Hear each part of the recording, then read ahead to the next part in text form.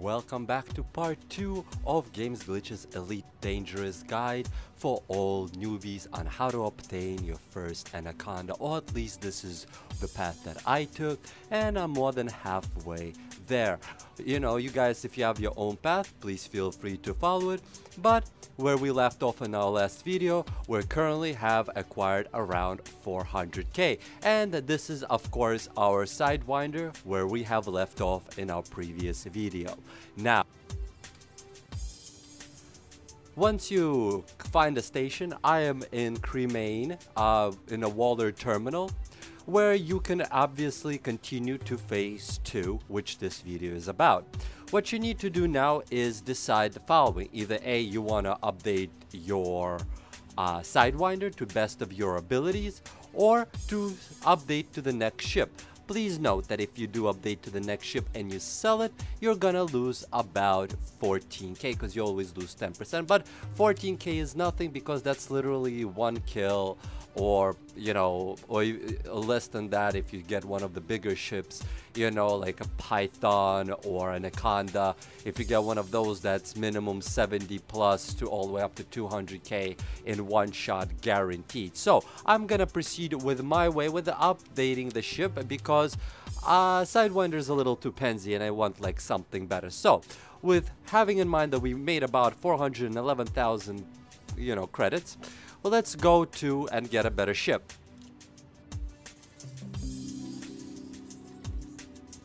Now, we're gonna go to shipyard and go one over and buy ourselves a Viper. Please note that there's please note that there are several things um, about a Viper. You could either buy, of course, a Viper, or you can, of course, buy yourself an eagle. You know, it's def definitely at this point in time, it's personal preference. Uh, I just go with uh, the Viper, you know, because it's honestly, it's personal preference. Here you could go with this ship or you could go with uh, the other ship. It's honestly depending on what kind of a player you want to be and I'll honestly leave it up to you because your main goal is to, well, obtain 2 million credits. And then I'll show you why. Now you will purchase yourself this Viper. Now purchase yourself a Viper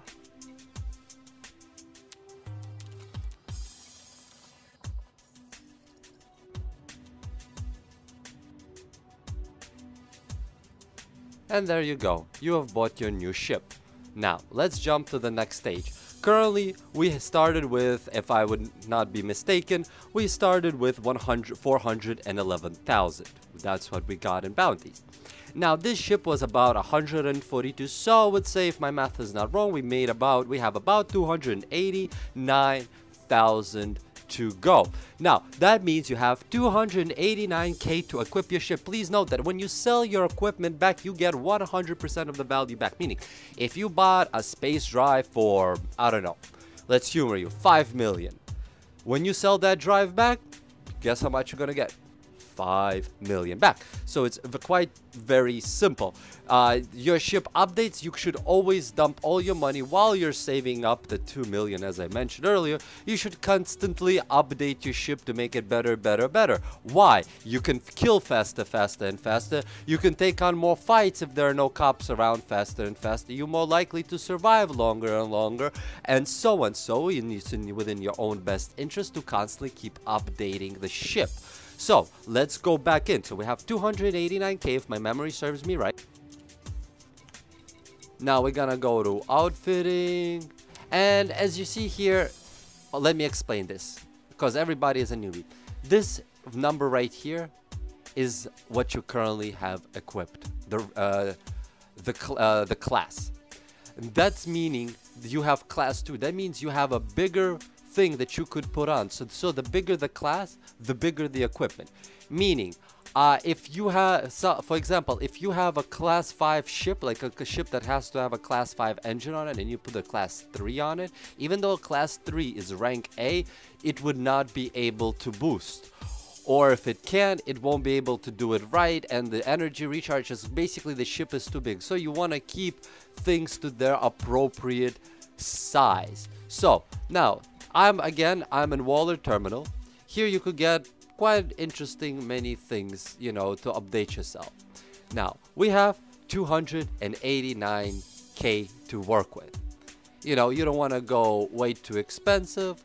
Uh, I would recommend st sticking with laser weapons for a simple fact that you don't have to, uh, well, recharge them. Now, unfortunately, this station does not have the lasers that I'm looking for. The current ones that you still have are actually pretty freaking good. So, you know, you don't really gotta worry about them unless you want to and, you know, that's your prerogative. Um, which also brings me to a great point where I'm gonna show you in a moment a site where no matter where you are, you type in whatever equipment you're looking for or you select it by category. You type in your current location, select the distance of light years that you want to look in within, and it will tell you where you can buy any kind of gear, a ship, uh, you can buy equipment, modules, armor, weapons, whatever else. Because you have to understand, not everything is sold everywhere. So sometimes you have to move from station to station looking for particular things.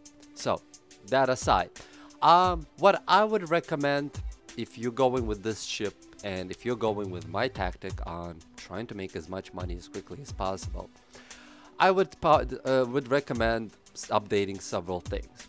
A, I would recommend updating the shields. Uh, they're one of the most important things, well, because let's be honest, you're constantly getting shot at. As you could see, we have a D class. I mean, I'm sorry, I apologize. E class. Then we have a D class. Uh, you know, that is uh, what you call it is slightly better. But if you want, because we do have 289k to spend, uh, we should go with something more appropriate. Uh, I think it'd be a little much to go with B at this moment. So we're gonna go with, well, D and leave ourselves with 205k. Oops, I'm sorry, what am I saying? I moused over the wrong one. Ah, shield generator. There we go. We're gonna, I apologize about that. We got 50, whoa. Hello. 56k. You know, so we're gonna have uh, 233k uh, left. Now, which brings me to another important situation. Make sure that there that your deploy and available don't come too close. I personally like leaving about one megawatt. I don't know. People tell me it doesn't do much. I personally think it's just for mental reasons.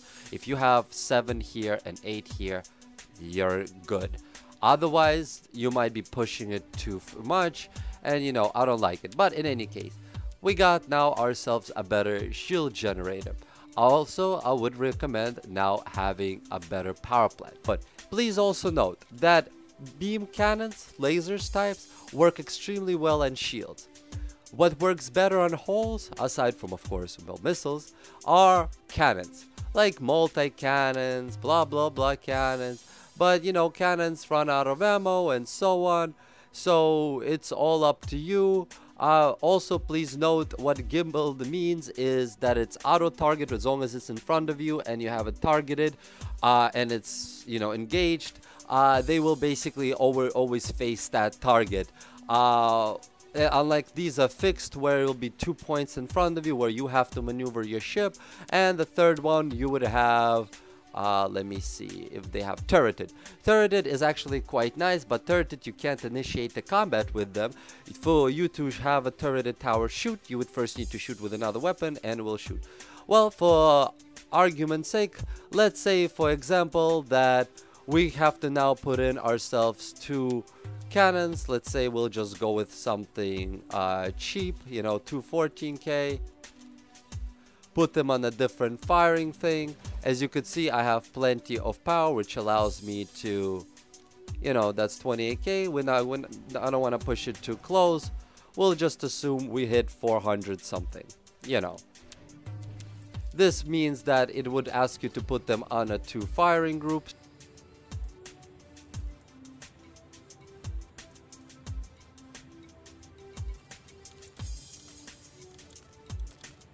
And there we go.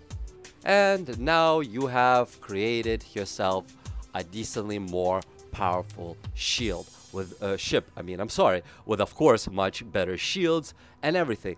Now, please note that you will you have aside from losing 4k from investing into this wonderful ship, you have 14k. I mean, you have not lost anything as when you sell it.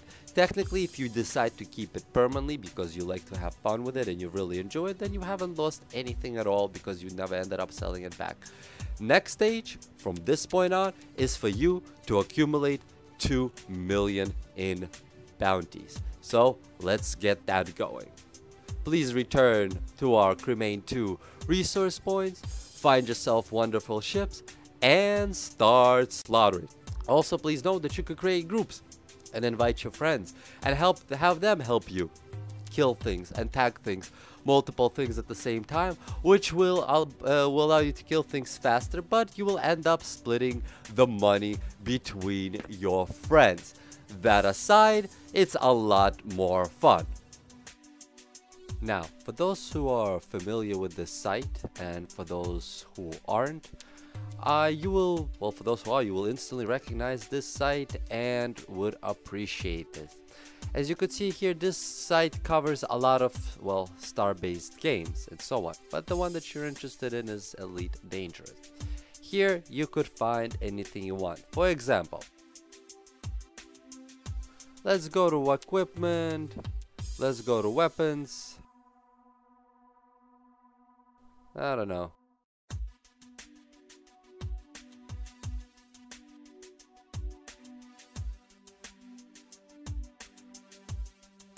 Now, I accidentally ended up clicking back. Whatever. Let's take Railgun. There we go. As you could see here with Sol, it's already demonstrated to you that there is within vicinity of Sol, but that's irrelevant. Now we type in Kremainn. And as you can see here in Kini star system and the Keneac orbital, 12.85 light years away, class 1D, you could buy railgun fixed. If you expand your search, as you could see, now all of a sudden, you could buy it in more than one location. As you could see, the price is always identical. It said you always pay the same thing and you always get the same amount back when you sell it, which is quite amazing. And yeah, what you call this is how you could find any kind of th thing that you would want. Here's your ships. Let's say you want to buy Lakon Type 6.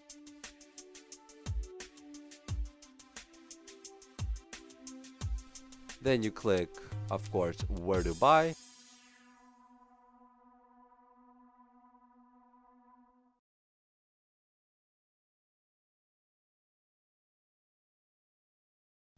And boom, they show you everywhere where this ship could be currently bought. Please note this works for any ship, any module, any upgrade, so you could at any given moment find anything you need. This is one of the sites that I'm going to introduce you to guys. It's going to be extremely, extremely helpful to you with no matter what you do, instead of posting on forums or wondering or anything, this is the one for you. I will also leave it in the description below so you guys could click it. As you could see, it's uh, you could see the link right over here. You know? So, without further any further ado, let's continue farming the 2 million that we need.